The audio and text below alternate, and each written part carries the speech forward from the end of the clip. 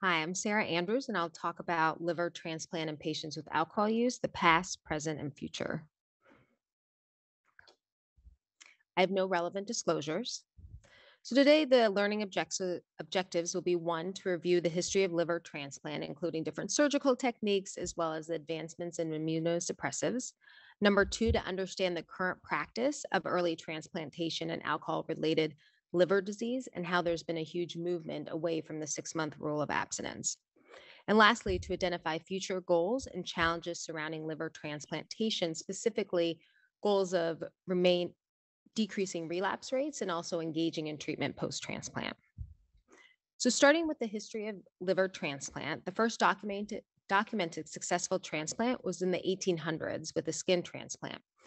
Even though there were ancient reports of skin flaps as early as 800 BC, this first documented transplant was really a stepping stone for the other transplants to begin. So, at the beginning of the 20th century, the first cornea transplant was performed.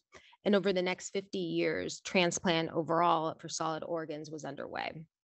Early living donors were biological relatives of recipients due to decreased risk of organ rejection and the first successful living kidney transplant was between identical twin brothers in 1954.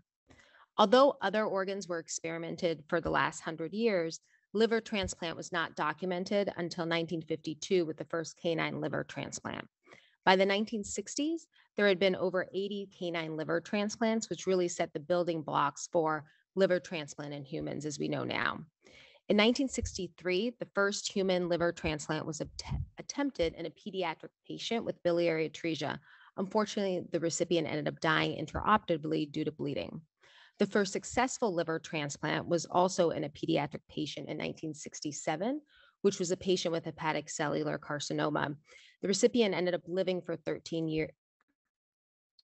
months post transplant until she died from metastatic disease.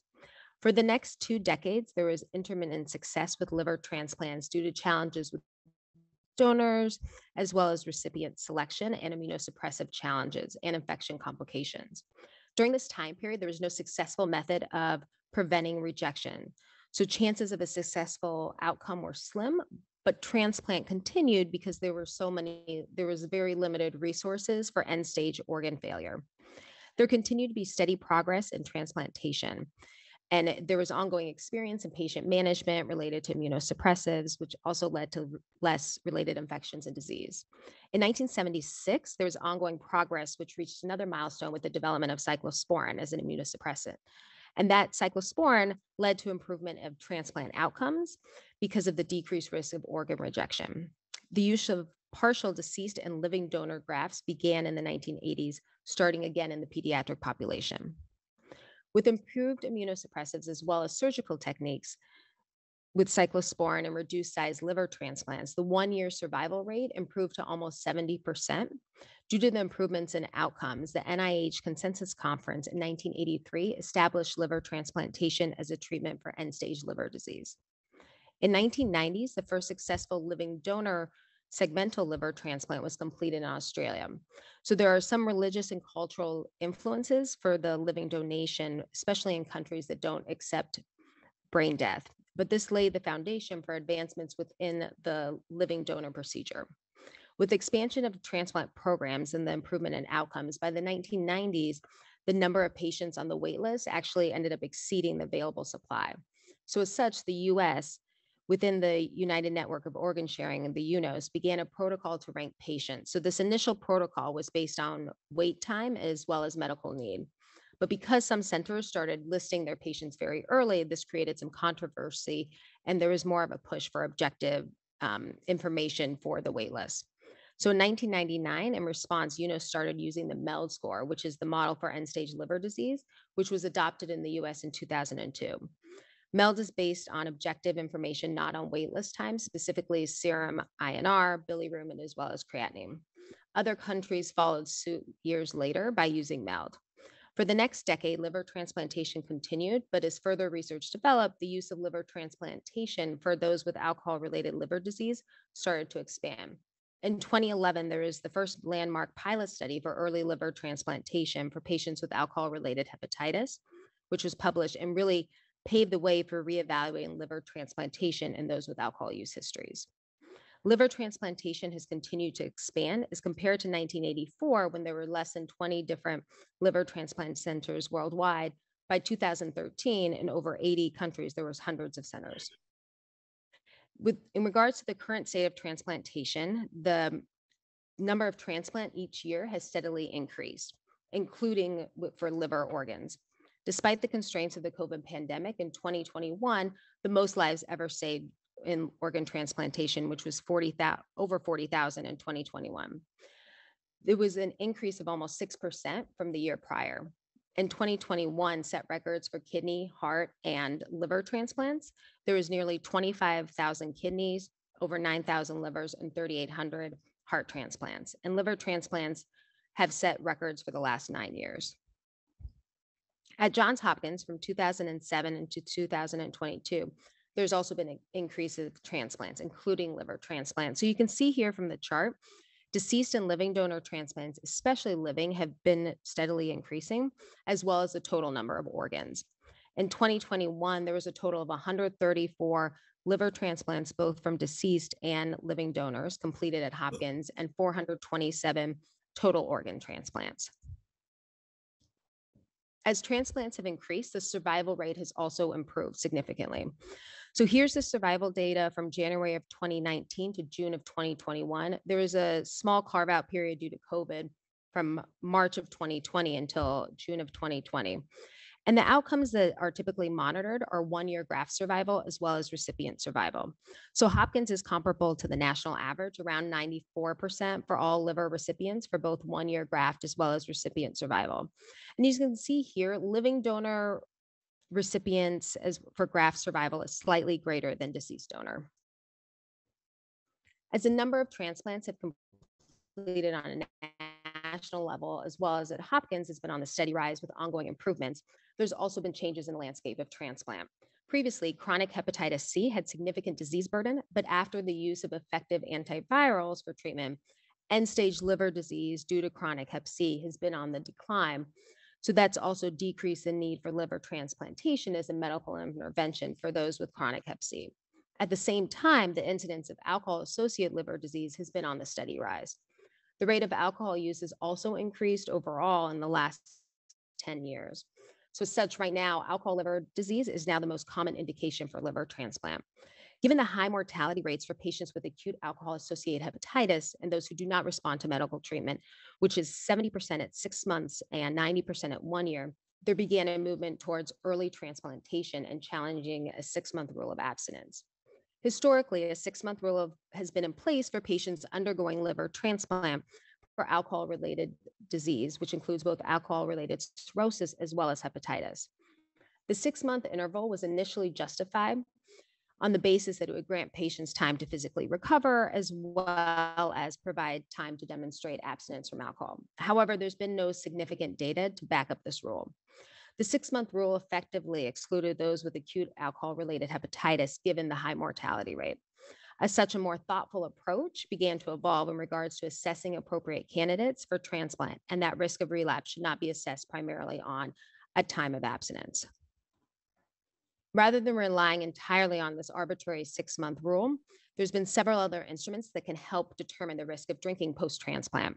So, one instrument is called the University of Michigan Alcoholism Prognosis Score, which is specific to liver transplant in those with alcohol liver disease. And there's several factors that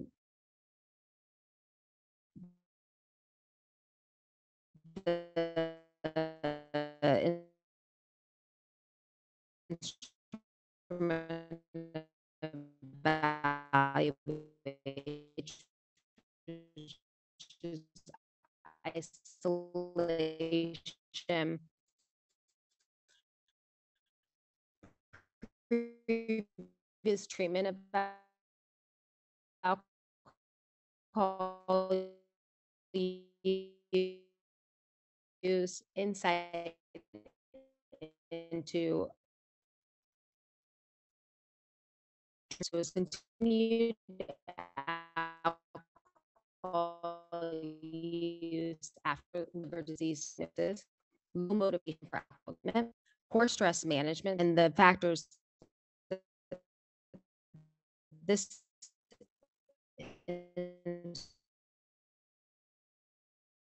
that do it. With these instruments being utilized in different studies as well as on a clinical base, none of them, as you can see, included time of abstinence. In 2011, there was a landmark study published in the New England Journal of Medicine. This prospective study showed the significant survival rate in patients receiving liver transplants for acute alcohol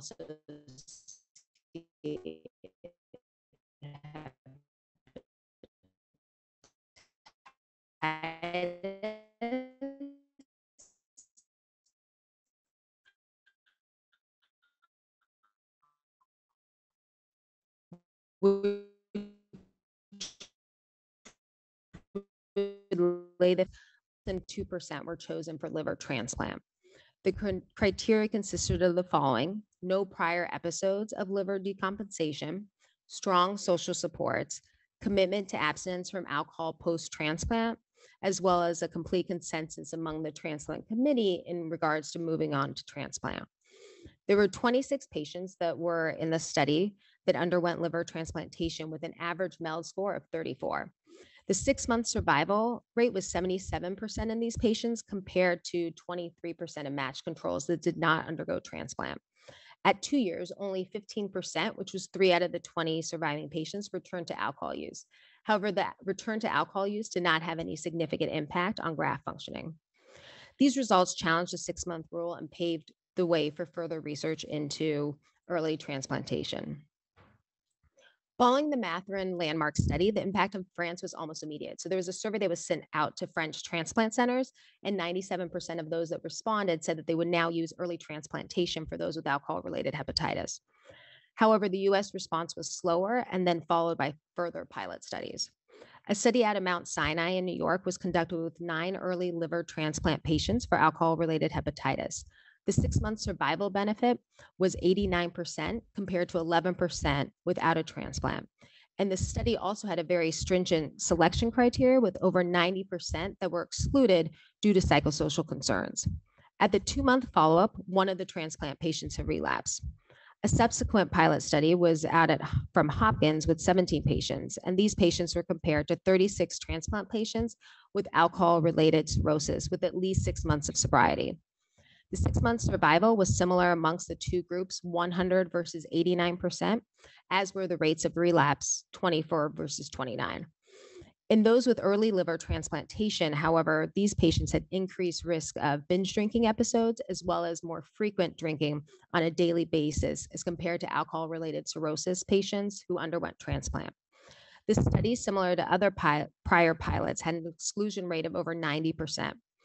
While there were several single center studies, there was developing momentum to create an even larger study.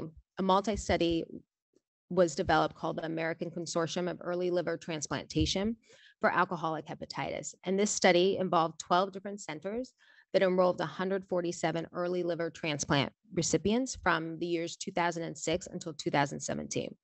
The criteria for selection included first episode of hepatic decompensation without any prior diagnosis of liver disease, strong social supports, commitment to lifelong abstinence from alcohol post transplant.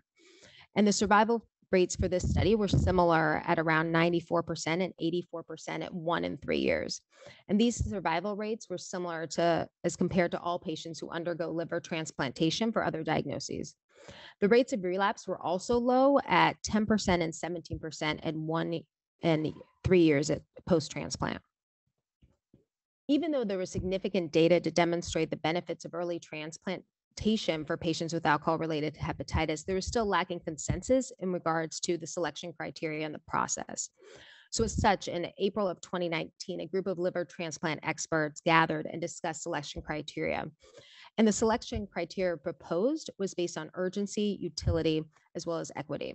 So, urgency being that the sickest patients would get transplanted first using the MELD score, utility evaluating post transplant outcomes, specifically relapse rates, although there was not one single recommended relapse risk assessment tool that the consensus gave.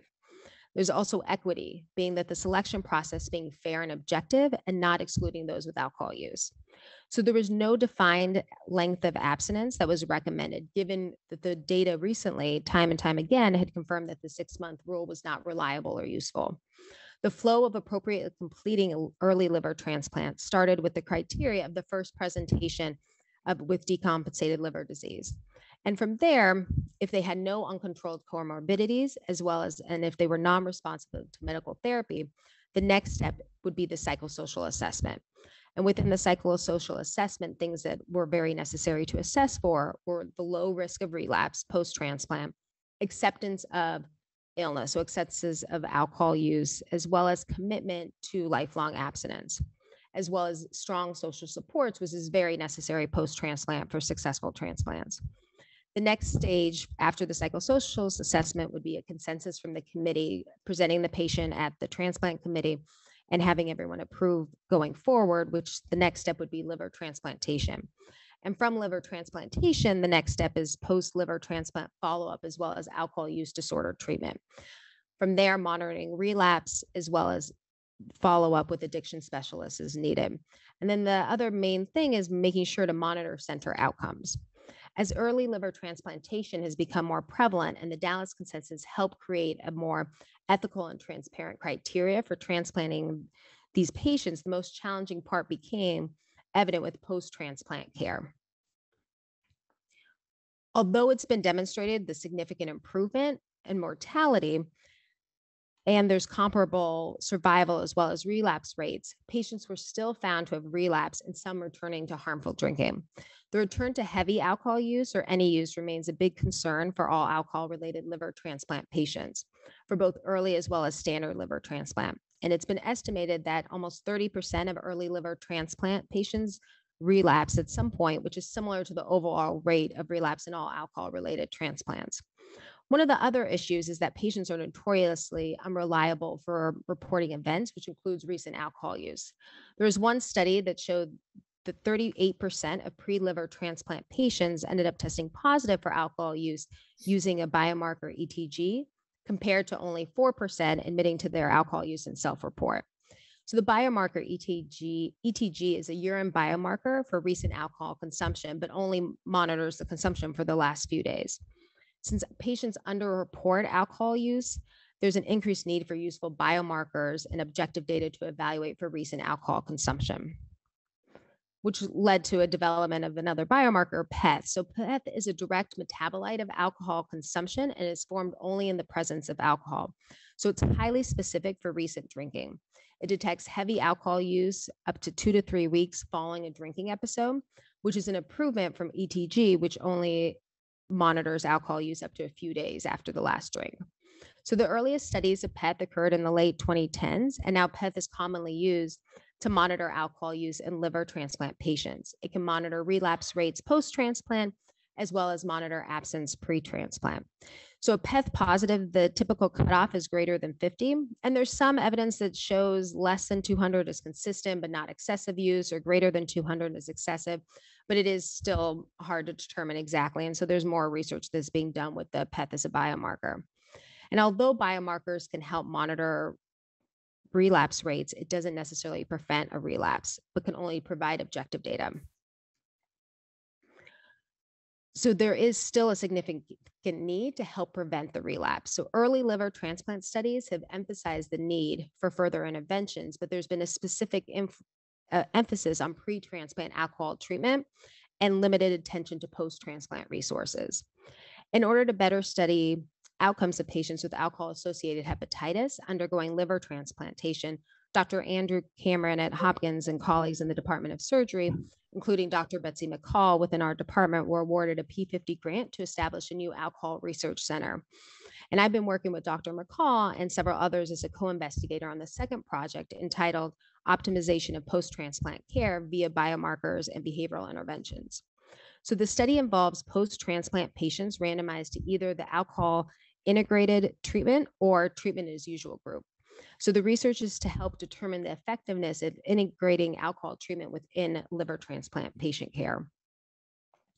So the patient that was interviewed today was in the al- integrated alcohol treatment group and has completed all aspects of the study. Components of the integrated alcohol treatment group involve a computerized brief alcohol intervention, as well as clinical monitoring and treatment adherence counseling. The computerized base brief intervention is sometimes patients can complete it prior to discharge or they can complete it after discharge from the hospital after transplant. And it's information about alcohol use, suggesting steps in order to stay alcohol free. And this part of the intervention is specific to liver transplant. The next part is alcohol monitoring visits, which is completed with the study nurse. And it's initially the frequency is much more frequent. Month one, it's weekly. Month two, it's every other week. Months three and six, it's a monthly visit. And then for the rest of the study, it's every other month. And the study nurse meets with the participants and talks about the alcohol use and how the intervention is going. So part of the intervention is also CBT for CBT. So there's numerous evidence-based treatments for alcohol use disorder, which can include single session brief alcohol intervention, as well as multi-session cognitive behavioral therapy. And this intervention, the CBT for CBT, has been shown to reduce alcohol use and be very engaging for patients. So the next part is text messaging, which patient, which participants can opt into for the first three months after joining the study. And the participants will receive text messages about how to cope with alcohol cravings and triggers, as well as how to handle risky situations and other motivational messages.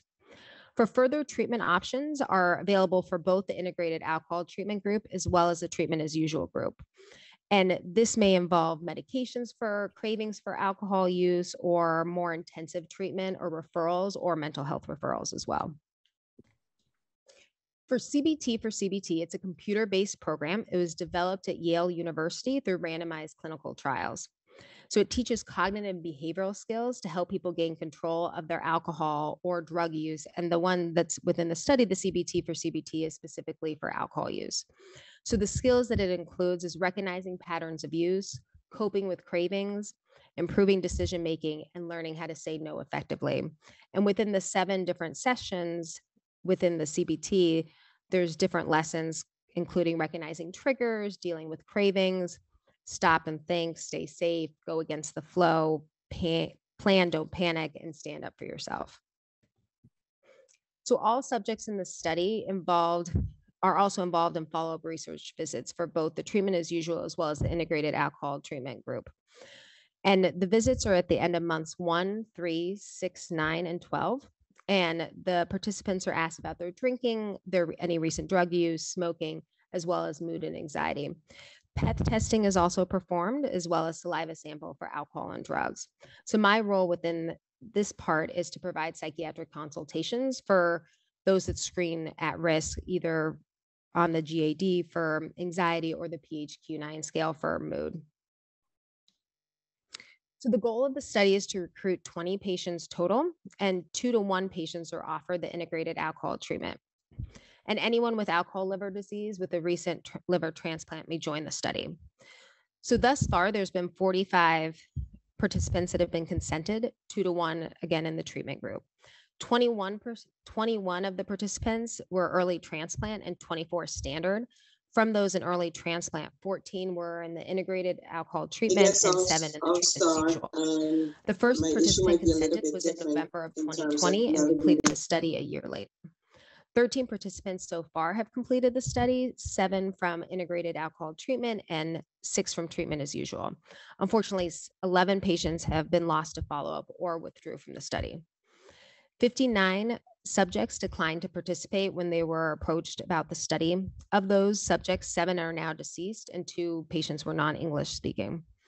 51 declined due to multiple reasons. And some of the reasons that they gave was that they felt that they were already sober, they didn't need any additional help, they didn't have any triggers or any cravings to drink alcohol. Some used um, decline due to moving out of state. Others felt like they didn't have any time for the study or they had too many other medical appointments or commitments. And some were already in different treatment programs. Currently, there's 15 patients that were referred and being actively recruited into the study. So the future of transplant will really focus on post-transplant care. And part of it is how do we encourage patients to engage in alcohol treatment post-transplant? And within the study, one thing that we'll be doing is trying to look at those who had declined to participate and figure out if there's a pattern within that and how we can help shape future recruitment for those um, patients. And also, it's about helping reduce relapse rates post transplant. Now that we have better biomarkers with PEth, we can help determine the rates of relapse. But then the next step is how do we focus treatment to actually reduce those rates? So, in summary, we spoke about the history of liver transplant and how surgical techniques as well as immunosuppressives have improved outcomes in terms of transplant. The present being the current practice of early transplantation for alcohol related disease and moving away from the six month rule of abstinence and looking at other factors that can help predict risk of relapse. And then the future being goals and challenges surrounding liver transplantation, which will be to help monitor the relapse rates as well as as well as try to engage patients into treatment. So I want to thank several people, including Dr. Betsy McCaul, as well as Maisha, who's the study nurse, and Aram, who's the study coordinator for this part of the um, uh, P50 grant, as well as Dr. Franklin for presenting the patient and General the Comprehensive Transplant Center.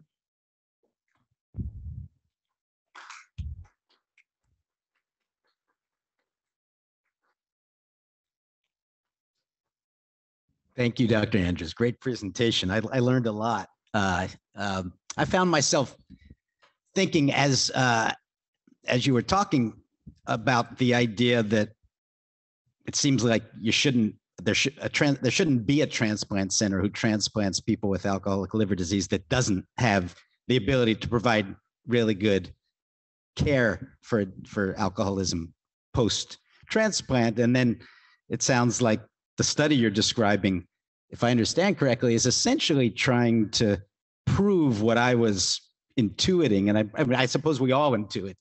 That is that you would think that providing this kind of comprehensive, um, systematic care ought to lead to better outcomes than saying to people, "Well, you ought to make sure you get in treatment after transplant. Go, you know, hope you can find something."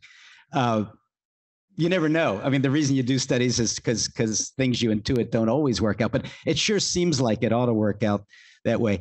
Uh, do I, I, guess I'm wondering if if you or or the people involved in in this project more broadly um, envision trying to establish national standards that that require transplant centers to have comprehensive addiction programs. Yeah, I think that would be the goal, and it would be great to be able to help develop a plan or help develop research and study that shows that integrating the alcohol treatment within the transplant center is going to be helpful for patients in terms of relapse as well as outcomes post transplant. Thanks. Um, other folks have questions? Uh, while you're thinking, I'll ask you another thing, which is uh, you were talking about the six month rule uh, and I guess how that's no longer something that that that seems uh, uh, like an important, uh, uh, necessary screening criteria. Uh, but I think I heard you say that in the New England Journal paper from France. Did, did I hear you say that it was fewer than two percent of the the patients screened wound up go, going into the study? Yeah. that's an awful lot of screening, and and and and and I'm imagining that there continues to be a lot of important filters that that that are laid down. I mean, and and maybe you mentioned them, they just didn't stick. Are there? What are the big things that rule people out in this context? So within that study, things that rule people out that it had to be the first episode of decompensated liver disease. They needed to have strong social supports, commitment to lifelong abstinence. And what about today at Johns, at Johns Hopkins? What are the big things that So I think those are also some especially strong social supports. I think is a very big element of it. Um, as, as in a lot of people don't have them or some people might not and trying to help. I think the idea of screening like my goal is to not just screen patients out but try to provide resources to get them to become better candidates so even if mm-hmm. these patients are initially not candidates how do we get them to become more appropriate candidates how do we help mm-hmm. them gain social supports how do we help them identify people that can help them post transplant um, mm-hmm. how do we work with them to gain insight into their illness to understand and appreciate the the situation that they're in so i think it's not just okay they're not appropriate for transplant we're not going to transplant them ever right. but how do we work to figure out how we can appropriately transplant mm-hmm. that's interesting. Yeah way to think about it. Makes makes a lot of sense. Other folks? Is that dr swartz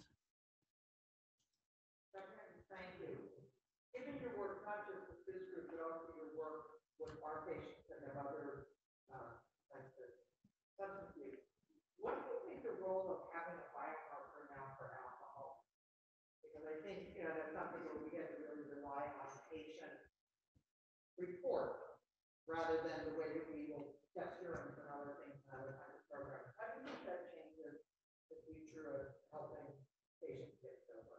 You- Why don't you repeat the question for the folks Yeah, out so the there in Zoom was, land? how can PEth or the biomarker help other populations? Um, so I will say that within other transplant groups, they are using PEth if someone had alcohol use in the past, or if they're concerned about their alcohol use. Um, we are getting PEths on those patients. And I do think there is a role for it. Um, depending on the patient and depending on the goals of treatment, I think there is a role for it if we're concerned about someone underreporting their drinking, or maybe if that's affecting their mood and we, and they're not really telling us. I think there is a role to evaluate for it and have objective data to be like, you are drinking or you're actually not doing you know, so I think, I think it is, can be very helpful. And is PEth something that anybody can order? Uh, It's available at Hopkins to everybody Mm-hmm. Yes, who it wants does to. order? take several, yeah, several days to come back, but it can be ordered now at Hopkins. Okay, so it's not for use in the emergency room? No. Right, okay, Yeah. okay. Um, Other folks, Dr. Colica?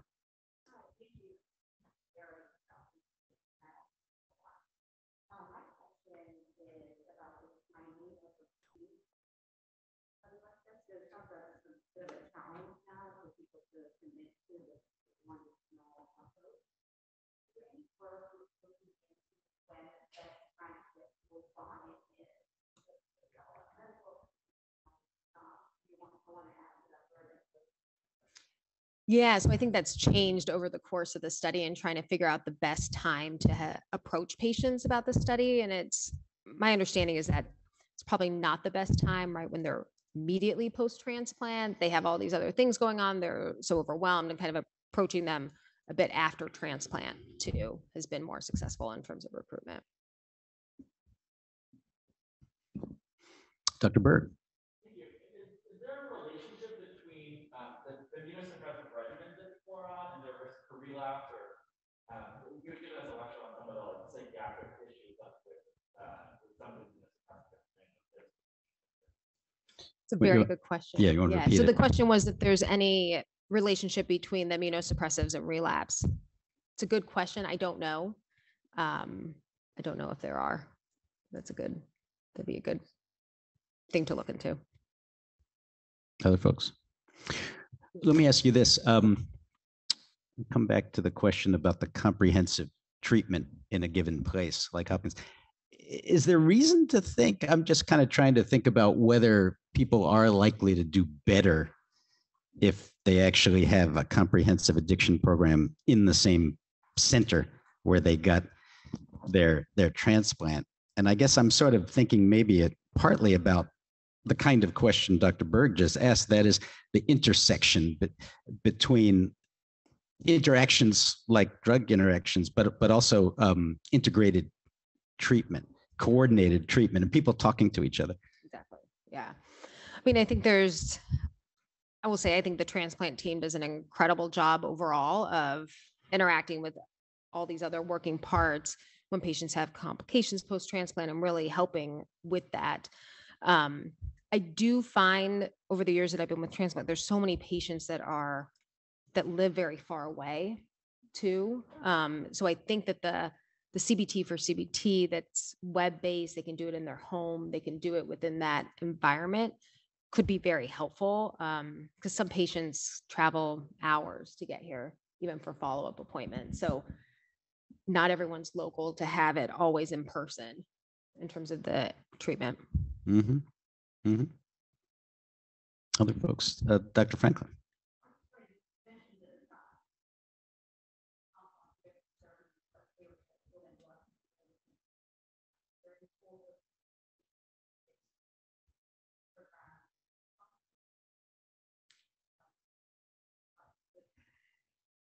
Yeah, I mean, I think that would be great.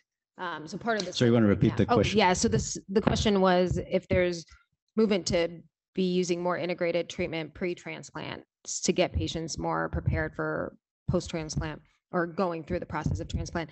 And I do think it would be wonderful. The study right now is just focused on post-transplant outcomes. Yeah. Oh, it's Dr. Laurie. Hard to recognize people through these big masks.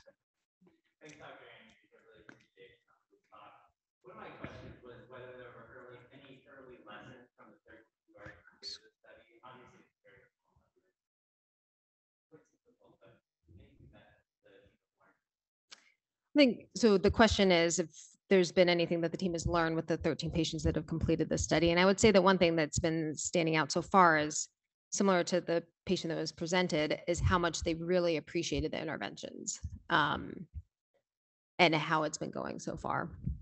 Let me ask you, my, our last question, given the time. Um, let me ask you about the issue of supply and demand.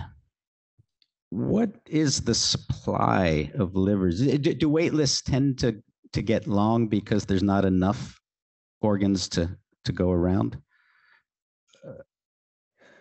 Um, I know Dr. Cameron is here. Maybe he might be able to talk on that Dr. in Cameron, terms the of director the- of transplant. say thank you to Sarah Andrews and to Avi Gersick for all the help and teamwork that you guys give us. We could not do it. Our patients would not do well without your help. So if we can take the liver out and put a new one, in, that's the easy part. The, the- the stuff we're talking about today is the complex part. So thanks again for the teamwork. To Jimmy's question, there's not enough to go around. There, there are currently, uh, twenty thousand people in the US on liver transplant waivers. Wow. There are be About seven thousand liver transplants this year, just not enough. Wow. Deceased donors, and we're working on living donors, not everybody. So if you need a kidney transplant, you don't get one, you get that. Transplant, you don't get one, you die with that. Mm. So it's very, very difficult, and thus, the choice of who gets one is incredibly important. And if we choose wrong, it will. It's devastating.